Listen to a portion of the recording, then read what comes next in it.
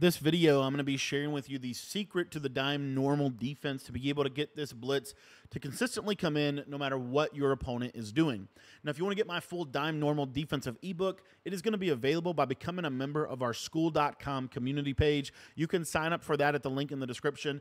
The cool part about the skool.com community is not only you're going to be able to ask any Madden questions or college football questions that you want, as the site is going to support both Madden and college football 25 but it's also where you get access to all of my pro tips, exclusive ebooks, as well as just direct access to be able to improve your Madden or college football game. So if you want to sign up for that, it's only $10. The link's going to be down in the description below if you want to check it out. And again, you get access to all of our ebooks and all of our updates to that stuff as the year goes on, as long as your membership is active. Now we're going to be talking today about dime normal. I'm going to put a little twist on dime normal because this little twist is going to make this defense a thousand times better for you. What you're actually going to do with this is you're going to go ahead and turn your auto flip defensive play call off, and then you can put your zone coverage on match. What we're then going to do is in our dime normal defense, we are going to put our fastest pass rushers in these two positions right here. For the Bills, that's going to be Leonard Floyd, and that is going to be Greg Ro- or however you say that name. And then really that's pretty much how we're going to set this up. If you wanted to put Von Miller over there, you could certainly put him at the defensive tackle position. Okay, what makes Dime really underrated is it's really good against the run, and you get two slot corners, which a lot of people sleep on the importance of. It's it's a in my opinion, if you can get a good Dime normal blitz, it becomes instantly better than six one just because of the slot corners, and you can still do a lot of the same principles. So how are we going to do that? Well, what we're going to do is we're going to come out in the dime blitz three, but we're going to flip this play. We're going to flip it every single time, and we want it to be on this left side. What we're going to do to set the blitz up is we're just going to pinch our defensive line. We're going to crash our defensive line to the right. And then this is really important with your user. You're going to go and blitz your user. And as you see how the game kind of wants you to stand in this right side gap, what we're going to do is we're going to stand kind of right here and we're going to pass commit. And what you're going to see is this is going to create a disengage where we're going to be able to get pretty much a gap pressure off of the right edge. Now, another really cool way to run the defense would be to use a QB, utilize a QB contain. I think that's an underrated little adjustment because that will make the blitz angles a little bit wider, and oftentimes this disengage can come in a little bit better. The trick with the disengage that you need to understand is you want to be holding left trigger with your user, and you want to be kind of pulling the center to the right side of the screen. So you see how we're kind of dragging him to the right side of the screen, and then we're getting this kind of pop off disengage pretty consistently at the opponent. Now, another thing that you can do with this defense is you can actually, if you wanted to, you could actually stand a little bit more closer to the center. And as you see, this oftentimes is going to kind of change a little bit of the pickup. Now, what a lot of people like to do whenever they are um, kind of blitzing this or they're, they're trying to block this, I apologize, is they will essentially block their running back. Okay. Now, while this is a pretty good adjustment, there are some disadvantages to doing this, and it happens to deal with kind of where your user's at here. But again, you're just trying to pull that center out. And you see how this kind of pushes the pocket up super in the A gap. That's the underrated element of the entire defense. The pocket is going to collapse pretty much every single time, especially if you contain, because you still have the edge loop angles. Uh, but see how this gets a super deep pass rush into the A gap. Okay. Now, as far as uh, utilizing this against a multitude of formations, I'm going to get into using it against trips here in just a second. And again, a lot of times what I like to do is I like to simply just stand here to the right side, kind of pull the center to the right. You see we get that pop off, uh, disengage pretty much every single time.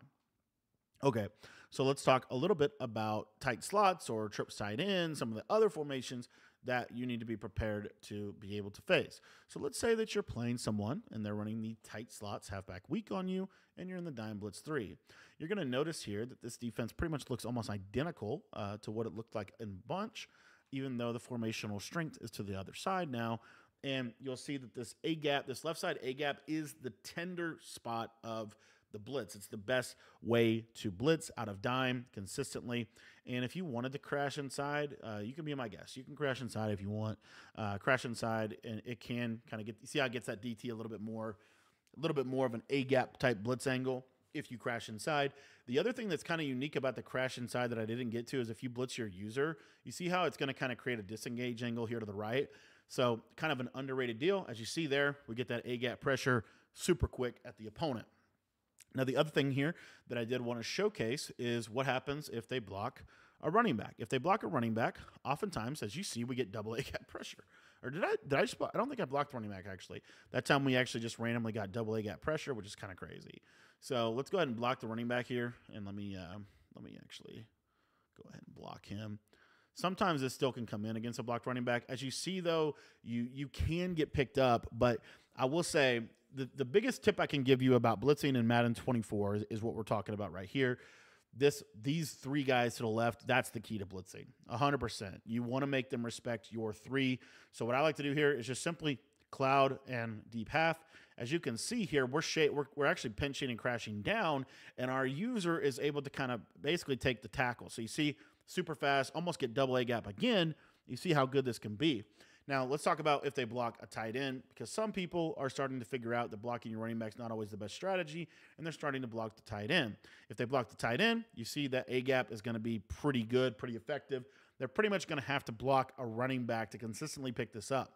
Now, this is also a really good blitz, and this is why I like this defense. This is why I'm starting to run this defense a ton. The reason this defense is super, super good is due to its ability to be able to adjust to spread sets, where a 6 1 cannot really do that. So let's say that you're playing, uh, you're running your dime defense, and you see that they're running a spread formation or a trips tight end. All you're going to do is you're going to base align this, or whoops, I'm sorry, I messed up. Uh, pinch your defense, and you see how this guy is going to be over here on this on this um, left side. So what I like to do when I run this is I'm going to man align and press, especially against trips tight end. So when we man align and press, as you can see, it kind of changes the, the adjustments a little bit. So what you want to do is you want to make sure that you have the closer guy blitzing. This is the important piece of information that you need to know. So you see here, we got this guy on the right blitzing, and then over here, we can do, you know, kind of a, an adjustment like so. So we're still able to kind of adjust to the trip set. And as you see, we're going to get that A-gap pressure pretty much every single time. So this defense, and, and the other cool part about this that I didn't get to just yet is let's say you're playing somebody that's running a significant amount of trips tight end, right? They're running a lot of trips type stuff. Then what you can do is you can go into your coaching adjustments, turn this on man align, and you're going to come out in the play uh, cover three buzz press, but you're going to flip it so that it keeps the consistency. See here, it's a little bit better alignment wise for us, but we're still able to get that standard kind of pressure concept. And then I just like to play basically cover two to the trip side, to the tight end side, and cover three to the to the wide side. This is really good because you see here we get that pop off disengage, and this blitz is going to give your opponent fits. If you want to get my entire dime normal defensive ebook, I'm going to leave a link to that down in the description below. For just $10, you'll be able to get access to everything that I do out of this defense, as well as all of my other Madden offensive and defensive ebooks. And we're going to be dropping full offensive and defensive ebooks for uh, NCAA or college football. So if you want to sign up for that, I think it's a great deal. For just 10 bucks, you're going to be able to basically make sure that you're always running essentially the best stuff possible on both college football and Madden. Thanks for watching the video. To sign up for that, the link is down below.